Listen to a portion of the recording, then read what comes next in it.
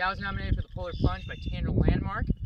I now nominate Barack Obama, Nicolas Cage, and PewDiePie.